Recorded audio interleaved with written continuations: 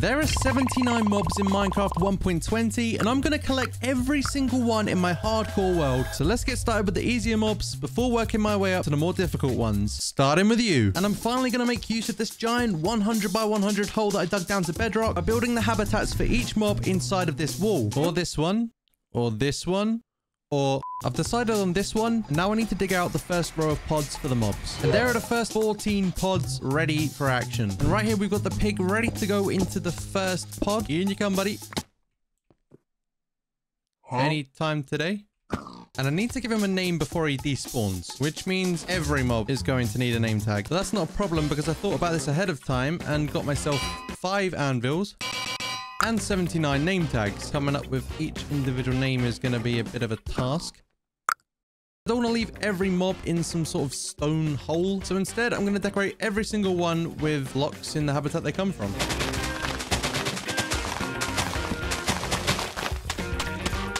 So there's some grass and some mud because pigs love mud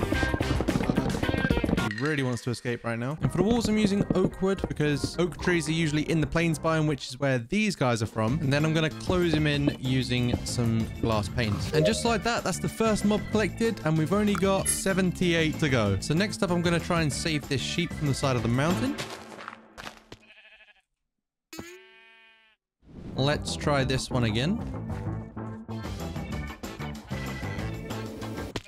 Bro, what? Come on, man. Surely this time. No, no, no, no, no, no, no, no, no, no, no. No, no, no, no, no. Oh.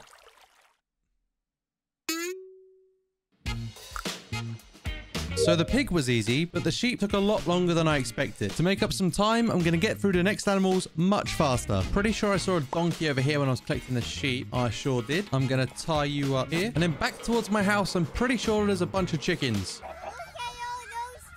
The next, I want to try and find a cow. Follow me, good sir. I'm just gonna move you over. Anyway, I brought the cow over the bridge, and that's another free mobs trap.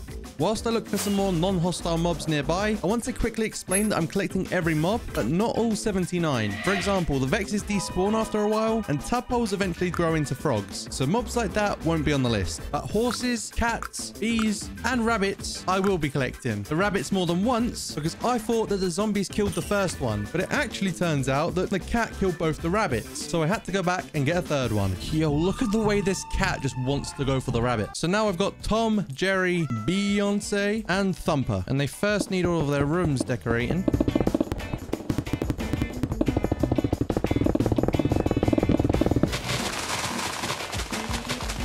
I'm going to get the horse into its pod first. Now, apparently to get a mule, I need to breed the horse and the donkey. You can't just find them in the wild, so I give them golden carrots. Guys, you've, you're taking all my food. Give me what I want. Maybe some golden apples will work. Nope. There's one.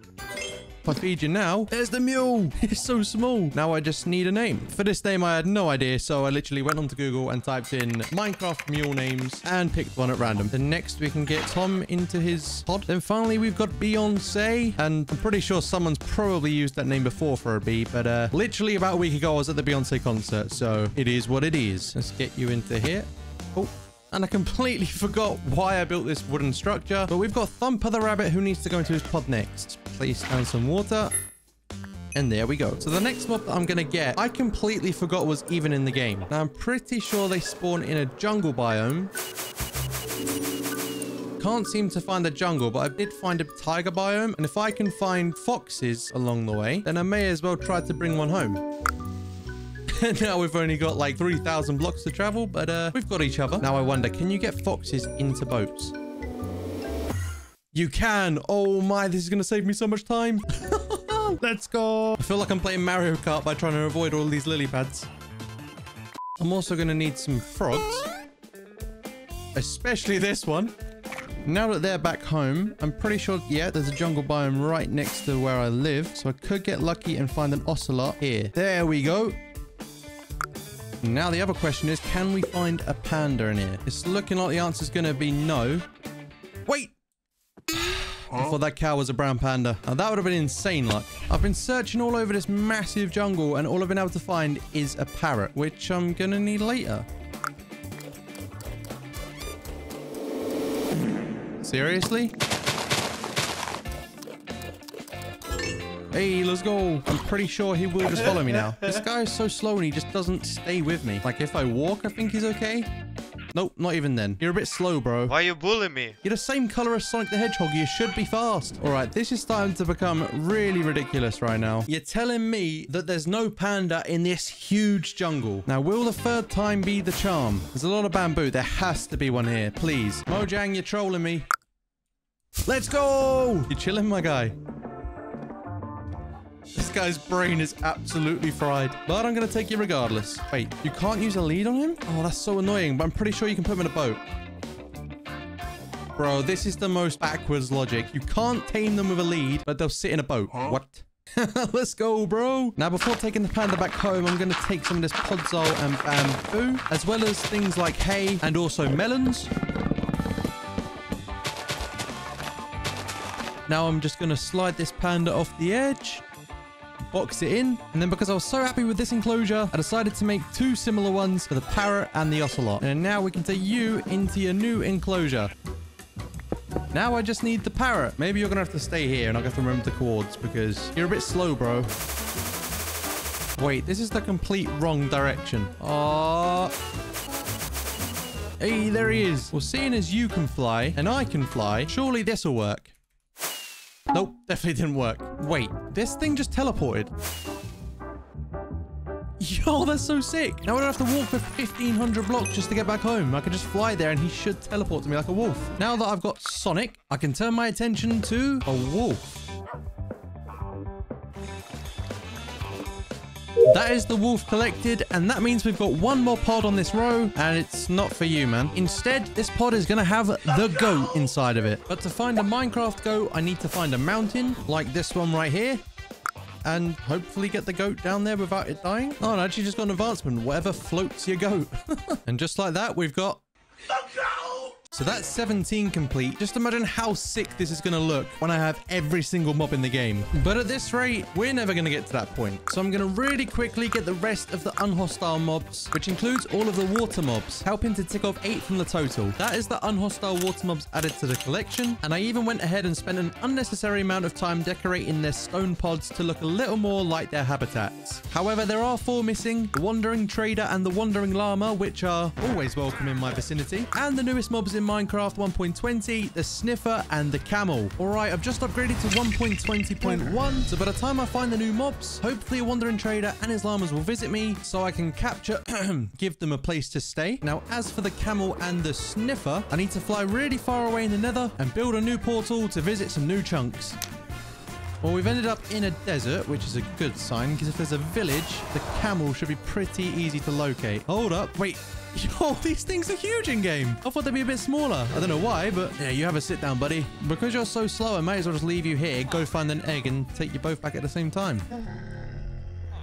I think he agrees. Now, luckily, the village is right next to a warm ocean, so now I just need to find some suspicious sand. I'll be honest, I have no idea what it looks like, but it should look pretty sus compared to normal sand. A bit like this. Then I guess you just... Oh, wait, no, we need a brush.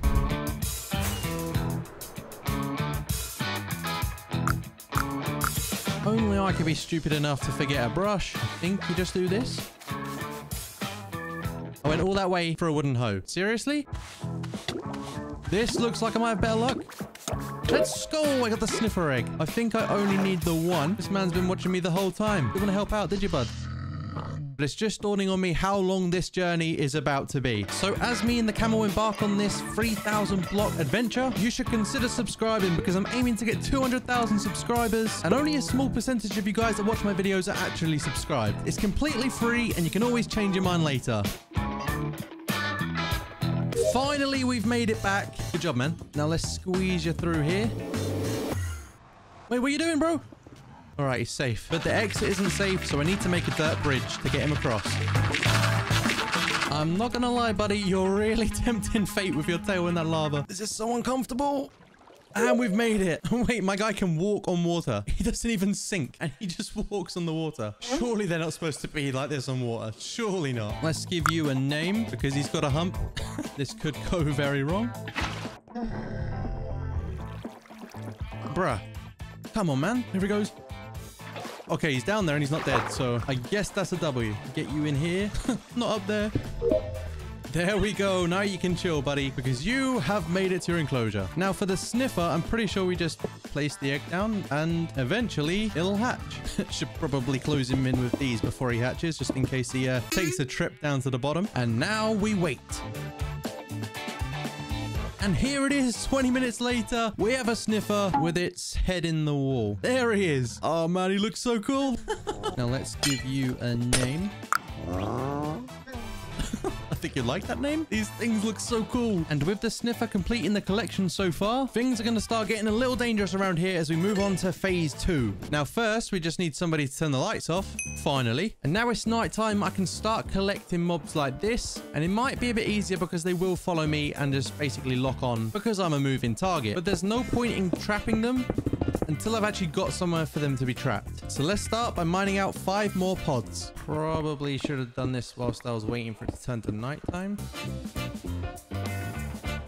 That's another five pods mined out and it's daytime. So I guess whilst I wait for it to turn to nighttime again, I can decorate the pods so they're ready for use. And as I'd finished decorating, it had turned to nighttime and luckily for me, a creeper spawned. Never thought I'd say that. And after trapping it pretty easily, it turns out a skeleton in full gold armor spawned right next to it as well. So after taking a lot of arrow shots, I managed to bait the skeleton into its pod and now we've got a skeleton and a creeper both trapped. An enderman has just turned up. This lit don't worry. I wonder how I'm supposed to trap an Enderman. Won't it just teleport out as soon as I get it inside? But we'll find that out after I get a spider and a zombie or seven.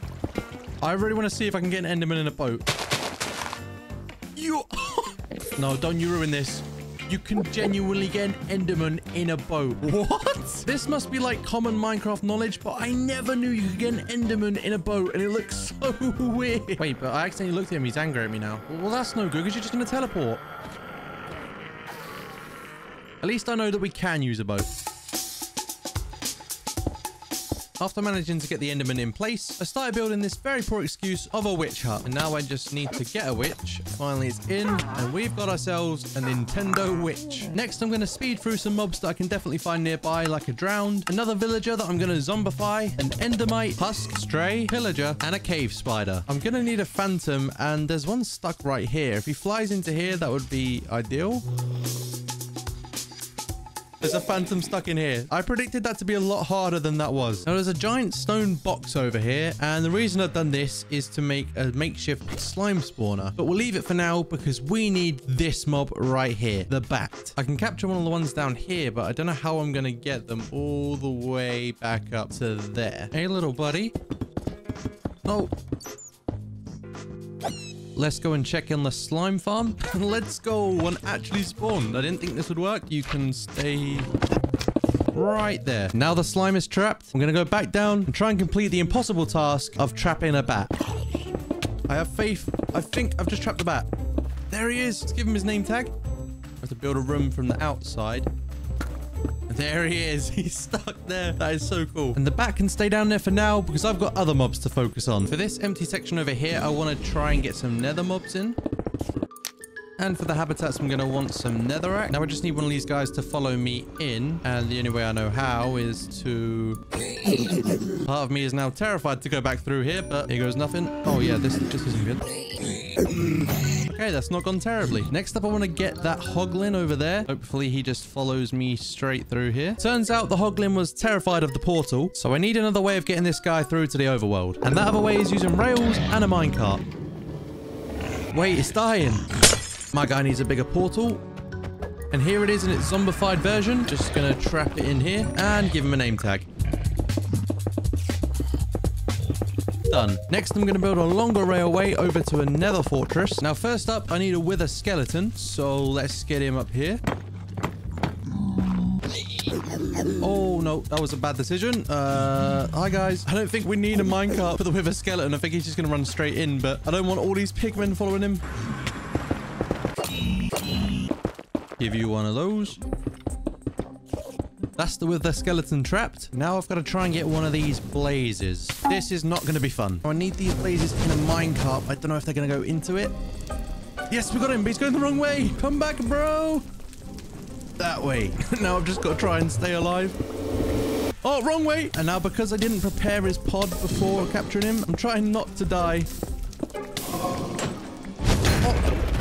Honestly, I didn't even realize I was that close to dying. So after a near-death experience, I finished off the pods for the Blaze and the Wither Skeleton, which leaves me with just three more nether mobs to capture. And I'm pretty sure that's kind of rare, no? If I can capture that, that would be pretty insane. I had this name tag picked out for a magma cube. It's called the Nether Slime. I'm going to temporarily name this so it doesn't despawn. Okay, I don't know how to transport this. Personal space, bro. Now, apparently, these are super rare, and it's like a 0.26% chance of this spawning. It's not moving, so Yes! I was worried that wasn't going to work, but it looks like it might. Come on, chicken. You know it makes sense. It not go through? This is just too rare to not go through to the overworld. So if it's not going to go anywhere, it's going to be staying here. Why is your sword enchanted? It's going to kill me. there we go. It was unplanned. That's the baby zombified pigman chicken jockey or whatever it's called. Now I need a magma cube, strider, and a ghast. Now strider should spawn in lava, like right there. Now I got to figure out how to get a rail all the way out to that guy. I guess I could try and use a lead. Yes, it works. I've never seen a purple strider before. Come with me. Let's go.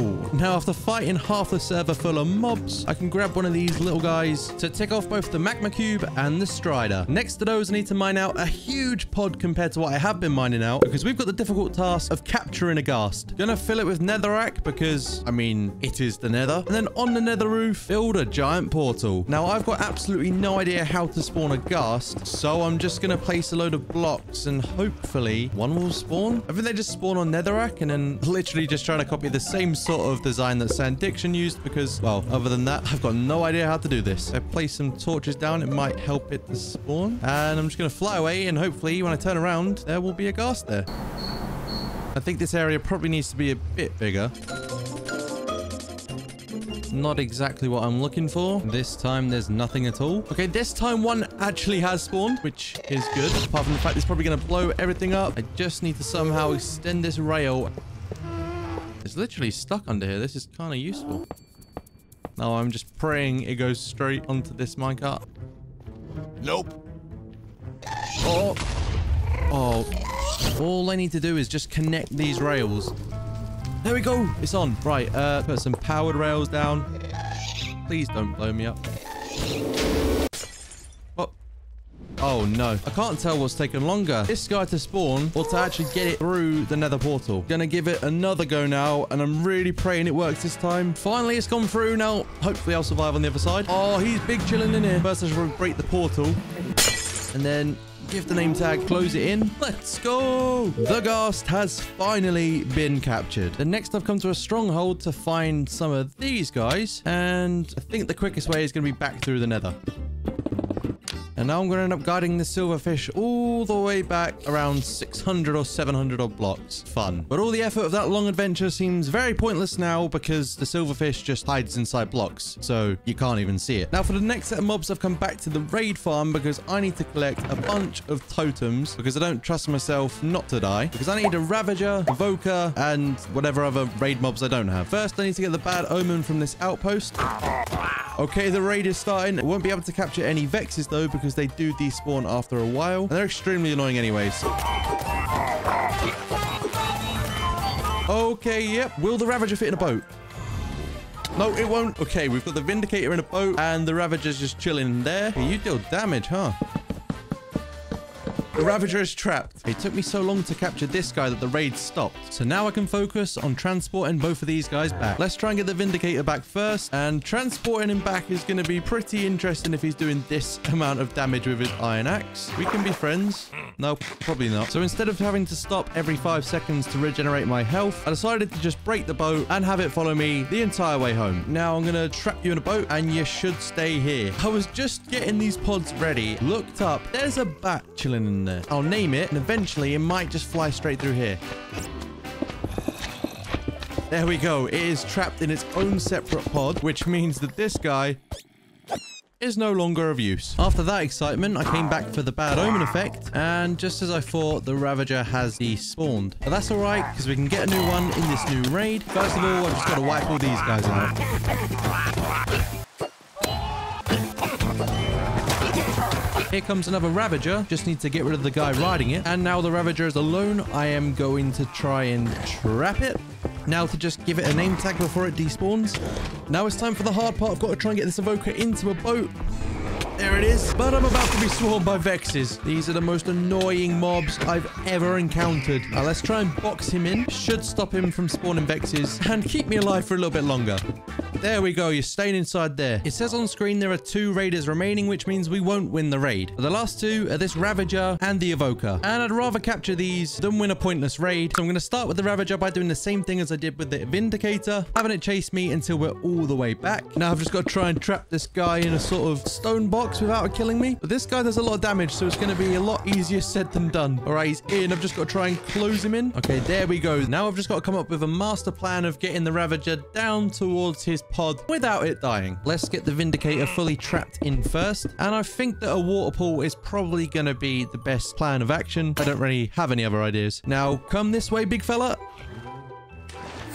He's afraid of heights. Let's try again by baiting him over this side. And if I place a bucket of water here, Yes, he's going to push him straight down. I mean, at least he's still alive. Now, if we just box it in with dirt, eventually I will change the dirt back into glass, but I can happily say that that is the Ravager trapped. Unfortunately, the hard work isn't over because we've still got to get the Evoker back by using a very long, painful process of placing hundreds and hundreds of rails that I ended up abandoning anyway because I knew how painful the Vexes were to deal with and it was really far away. So I got myself another bad omen, flew home and started a raid at the mighty village ahead, which I managed to fight off pretty easily until it came to the evoker. And that was almost instant death. Just to try and get the evoker into a boat. Oh my, almost died again. My new strategy is going to be to pick off the mobs one by one because taking them all on at once is pretty stupid. And now that the coast is somewhat clear, we can try and trap the evoker using dirt. Okay, not a great idea. Now the area is clear of Vexes. Let's get him in a minecart so he doesn't despawn. And after a lot of stress, that's him trapped temporarily. If I place down just a few more rails, Hours later, all that's left to do is put a name tag on this thing and close off the pod, which of course will be much easier said than done. For as long as I can remain unseen and have a block between us, I can replace this dirt with glass. And now that that's done, that's the Ravager and the Evoker both trapped. And man, that took way longer than it should have. The number of mobs left to capture is now super low, but some are really time consuming. For example, these guys right here. And the reason that these guys take so long is because you have to get them all the way back to the portal. And I'm going to need more than just 30 blocks.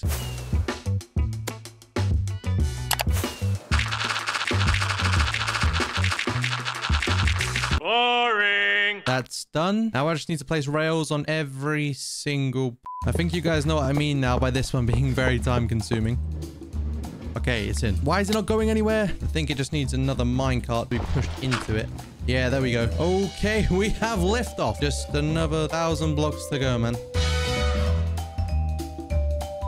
I've removed the dirt towers, but the question is, where is it going to go? The Shulker's teleport range is 17 by 17 by 17, so I need to fill in any gaps, which is a good job that I brought a ton of dirt with me. Now for the surface, I'm going to craft some stone buttons, and three stacks was not enough at all. So I came back with a ton more to completely cover the surface. It should definitely be enough. Right, if I break this block, it should TP onto this block. Uh, or not. After a lot of stress, I've managed to manipulate the shulker's position to a better block. Now I just need to get over there and push a minecart up to it. Nice. So are you gonna go in? It might have to be a case of getting it in the boat again. Let's try and break the boat now.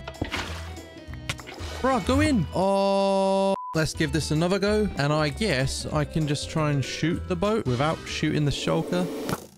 Let's go! Now I've just got to try and find it. And honestly, shout out to Ezy for helping me with that. Now I've found you. I've got to get you back in a minecart.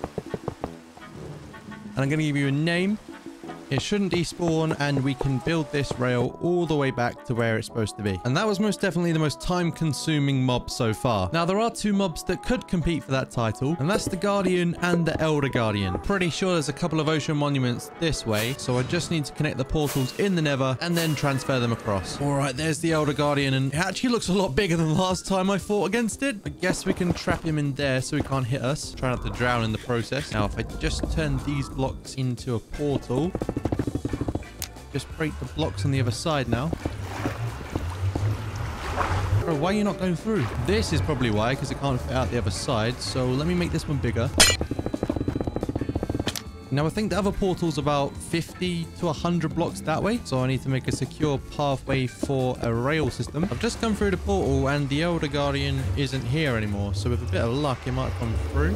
Oh yeah, he's here all right. Please get in the minecart. There he goes. Now let's see if it's on the other side. Just need to give it a name so it doesn't despawn and break the portal. Now let's repeat the process for the Guardian. And there we go. That's both the Elder Guardian and the Guardian trapped. And it took nowhere near as long as the Shulker. To decorate their environments, I'm going to grab some more blocks from the Ocean Monument. And I regret not doing it beforehand. I've got two more slots next to the ghast for Nether mobs, but the only ones are the Hoglin and the Piglin Brute. They get zombified, so I'm going to have to leave them here in the Nether. There's currently a thunderstorm, Um, so I need to wait for the lightning to strike in order to find my next mob, and that is the skeleton horse.